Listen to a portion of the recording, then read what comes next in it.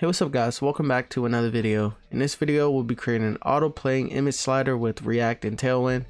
So I have my project open here and I have an array of images that I got from Unsplash and I'm using Next.js as well. I also got the GitHub repo open on my other monitor so I'll be looking back and forth just so I can get the code correct. And I'm going to try to do this within five minutes. So I already wasted one minute doing the intro. So let's get started. so let's go ahead and import use state because we're going to need use state we're also going to need use effect as well. So let's go ahead and import that since we're here. Use effect. So let's go ahead and set some state. Do a const. I'm going to do current index and then set current index. And the default value on this will be zero. All right. And now let's go ahead and write some JSX and then we'll get more into the more into the functionality of things. So let's go ahead and do a class name of max with 1400 pixels, a height of 780 pixels. I'm going to do a width of full, a margin of auto, a PY of 16, so that's padding top and bottom, a PX of 4, so that's uh, padding uh, left and right. And we also gonna give this a position relative and also a group class as well. All right, so inside this, we're gonna have another div and inside this div, we're not gonna put anything. We're just gonna change the background. So let's do a style and make sure you do double brackets and do background image like that. And make sure you do backticks.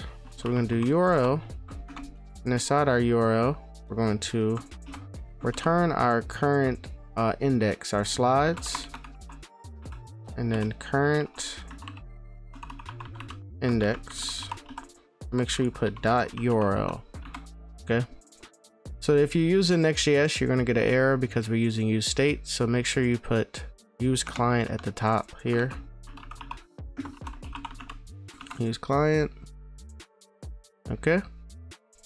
And now let's uh, give this div a class name as well.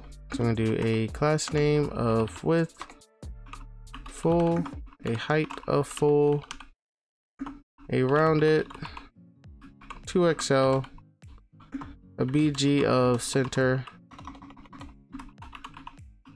a BG of cover, and we're gonna also give it a duration of 500. Okay there we go. We see our first index, our current index. So if we go here to use state, um, we can change this to one and then go to our second image. And then three, it goes to what it goes to our third index. So that's how that's basically how you make sliders, you know, you do it like that. So now let's uh, actually add the logic in. All right, so let's do a const pre slide. And this is going to be an arrow function. And we're going to set our current index to prev index. And this is going to return a ternary operator. So we're going to do prev index. So prev index triple equals to zero. We want it to return slides dot length minus one.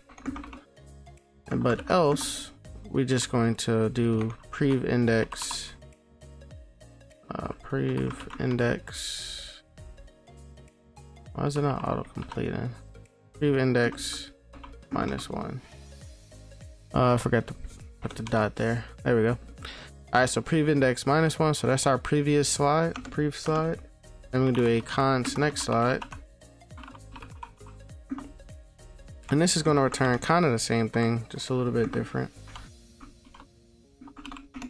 so we're going to do a set current index and prev index. And this is also going to return a ternary operator. So they're going to do prev. So prev index triple equals to slides dot length. Slides dot length minus one.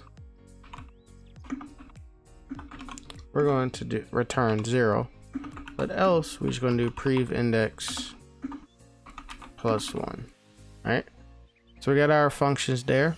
So what we can do, we can add our arrows now, but I kind of want to just start making this auto playing now. So what we can do is use our use effect that we imported. It's right underneath our array of images. It's really easy. So we're going to do use effect. And this is going to return function like that. And we're just going to do a cons auto. You can name this whatever you want. I'm just going to do auto play and it's going to equal to set interval that. All right so in here we're going to do next slide. We're going to run our next slide function. So we're going to run this function there. And all we got to do now is right we need to set like a time. So um, we could do 3000 that's three seconds. You can do 5000 that's five seconds. I'm just to do three 3000 like that.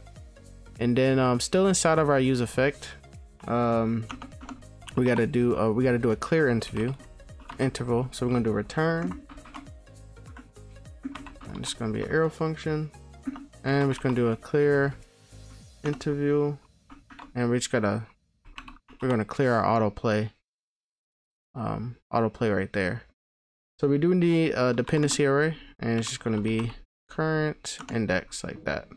So with that, once we save, we should see it move. Let's see if it works. Refresh. There we go. So there we go. Uh, it starts moving right away. So while that's going, we can go ahead and import our arrows from React Icon. So I'm gonna go ahead and copy it from my GitHub repo. So make sure you guys install React Icons. And there we go. So we got BS fill, um, arrow left circle, and then BS fill, arrow right circle. So this is going to be for our um, I, arrow icons. Because, you know, just case you want to move the slide yourself. Alright, so we're going to do a const arrow. Can just do const arrow like that. Actually, let's uppercase it. Const arrow. And in here is actually going to take some stuff. So we're going to do direction. Uh, direction and it's also going to take an on click like that all right and this is going to return us some stuff so in here you can split this up so this is basically kind of like a reusable component you could put this into another file um, but I just kept it in here. So I'm gonna do a div. Uh, probably should have put return. Oh why not? I don't have to put that. So I'm to do a div and this is going to have a class name of hidden because we want it to be hidden. It's going to so also have a group hover. a group hover of block. And then position absolute.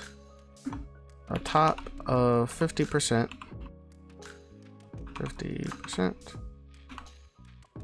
a translate x of 0 and a translate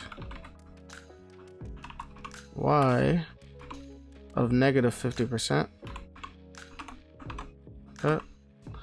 And a text 2xl around it a full a padding of 2 and a text of white. That. Alright, and let me just make sure that I'm not forgetting anything. Uh, we can also do a cursor pointer like that. So we're not gonna be able to see these yet. So inside this div, this is where we're gonna put our our icons. But oh wait, what is it? Okay, so we're gonna put our icons. So we're going to do we're gonna render them conditionally. So if it's direction, direction triple equals to left, right? We're gonna return our um, left icon, so BS fill left icon. I made this thing a while back, so that's why I'm looking at like all this code. All right, so we're gonna do an on click in here,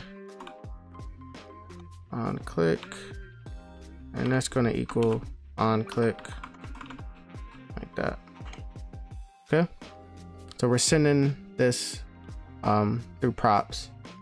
And uh, we also can do the size of 25. Okay. So if it's left, it's to return our left. And then else is just going to return our right. BS right. And this is going to have the same props as this. As this one. Okay. All right, cool. So that's really it for that. And now all we got to do is go down here and put it inside of our JSX. So underneath this div, we're just going to do arrow like that and pass in the prop. So we're going to do direction is going to be left. Let's see if we see it. Let's go ahead and do the do the next one. Right quick and this one is going to be right and this is also going to have next slide like that all right so i see the issue here for our error component we're returning JSX and we have brackets so instead of brackets we got to do parentheses it's going to remove this we also got to remove this thing on the div so that's that and we should see something pop up but it's not our arrows as you can see and that's because we forgot one thing. So on this div, still inside of that, we're gonna do a style. So we're gonna do style and make sure you do double brackets. And then we're gonna do direction. And this is going to equal, this is going to be 20 pixels. Okay. Now let's see if that works. There we go. So now we can see them. So what this does is basically it takes this prop direction so if it's left, it's going to be left 20 pixels because it's position absolute. Um, and right 20 pixels if I so the direction is right. So if I change this to top, it's going to be top 20 pixels for the right. If I can see it, there we go. You see the top, it's up there. Uh, and if I change this to bottom, same thing. Going to be bottom 20 pixels. Um, so yeah, that's really it. It's really, really cool way to uh, make reusable components kind of just wanted to uh, make it look better but uh, yeah so that's really it and let's make sure it works so we go to the next slide nice. So that's really it. This pretty sure this video is way longer than five minutes. Try to make it as fast as i can but as you can see it's a bunch of code. But uh yeah so hopefully you guys enjoy i will see you guys next video. Peace